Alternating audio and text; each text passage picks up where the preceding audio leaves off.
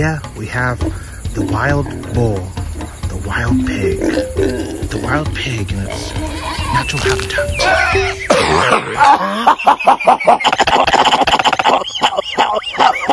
My diabetes going down.